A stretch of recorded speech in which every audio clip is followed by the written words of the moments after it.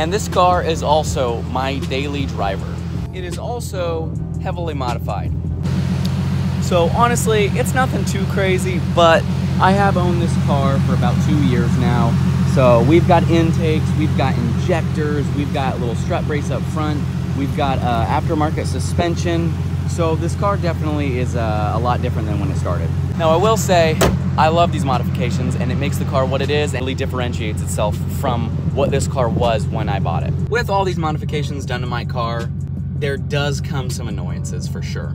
I've owned this car for a little over two years now, and with that, there's been a lot of things I've learned, a lot of things I've done to it, but with owning it for that long, there's some things really love about it and things that I really hate about it. When I first bought this car, it was bone stock. Nothing done to it, literally untouched until my dumbass. Which is what you want in a car, I think. I think the less modified stuff on it, the better. You kind of get to do everything yourself. One of the first things I did to it was an exhaust. It wasn't that bad. I just got a simple little axle back and it was something simple. I quickly did kind of rice this car out and ruin it a little bit. I, I straight piped it kind of made it quite difficult uh, to live with on day to day. It's extremely loud and kind of just super drony. Could barely even have a conversation in the car. We are currently running a different exhaust that is not near as loud as that one, but it's definitely still pretty loud as you can possibly hear it. And I think it's definitely a lot better overall. The exhaust isn't as bad as it used to be, but I will say it does have this really intense drone sometimes that I don't appreciate, but you know, I make this my race car. This is my car, so you know, it's gonna have some quirks to it that aren't the funnest, but that's just part of modifying it. We're gonna go to power. So this car's pretty fun stock, you know, it makes about 280-ish wheel horsepower when stock. I've done a lot to this, like you heard. I'm making about 341 wheel horsepower now. So day to day, it's fun as hell to put my foot down in this thing. I love just at any time dropping a gear and I'm I'm going. It's fuck, it's so much fun. And every time I get in it, I can always just have some fun in it. Just going on my way to work real quick, whatever it may be. Downside, the tune kind of can be frustrating as well. Gas, I spend a ton on gas. This thing is 290.85. I get about 115 miles on a full tank, so I'm filling up twice a week at least most of the time. Uh, filling up your daily twice a week is definitely not ideal, but I ain't got the money for another car, so this is the everything car. One thing I really absolutely love about daily driving this car that, you know, I heavily modify, I try to make look nice and stuff, is I get to drive it everywhere. And when I do drive it everywhere, other people see it. Other car people see it. And when other car people see it, it's satisfying to, you know, get those compliments, get other people looking at it and stuff. That's such a fun thing that when you don't daily drive a car that you modify and stuff, you kind of miss out on absolutely hate when I'm driving like my girlfriend's car or something and I'm not in this beautiful thing right here and I see another person's car and I'm just like, damn it, if only they knew what I had. That's why it's nice to daily drive it. That's why I get to see it a lot of the time, what other people are thinking of it. It gets a lot of miles, which yeah, that kind of sucks, okay, but it gets to be seen a lot more. And in the end, you know, I do I do the modifications on this car for me, but it's satisfying to get someone that gives you a little thumbs up, a little head nod, you know, it's nice. And as we literally speak, it just got a compliment right there from that Cadillac.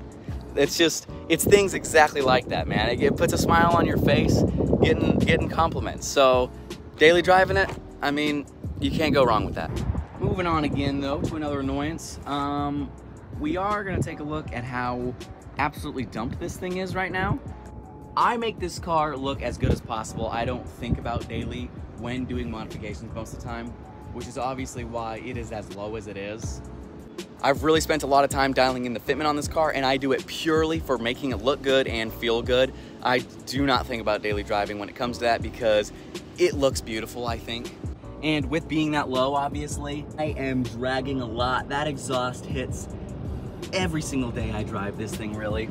It, it is definitely something to have to worry about. Every time I go out, I see a pothole, I see a big dip in the ground. You know, I clench and pray to God that I'm not gonna lose a coil uh, through the fender or something or have my exhaust dragging on the damn ground or something, which has just about happened before, I'll be honest. That's probably one of the big main things. When you're daily driving on a static suspension and you're that low, you know, you, you gotta expect things are gonna go wrong, which I do, but it still is gonna get annoying. It still is something frustrating sometimes when I'm on a really shitty road and I gotta sit here white knuckling, avoiding every little crack and bump in the road, because if I don't, who the hell knows what's gonna happen under the car.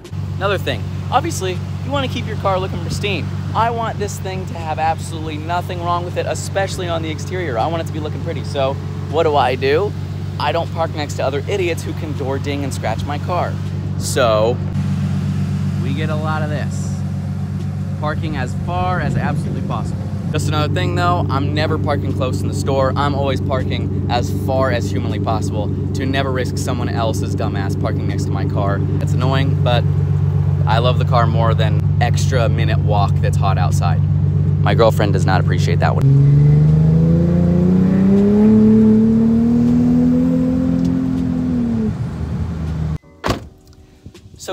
In the end, I love this car.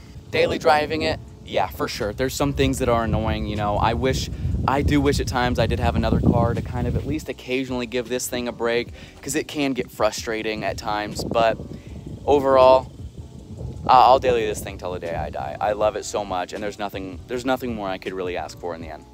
Really hope y'all enjoyed though. Uh, appreciate y'all watching. I've got a ton of other videos on the channel if y'all want to check them out. We've got new stuff coming soon. I'm actually getting new tail lights, so I'll show an install video of that. But yeah, appreciate y'all watching. Subscribe, like everything. Thank you. I love you. Bye.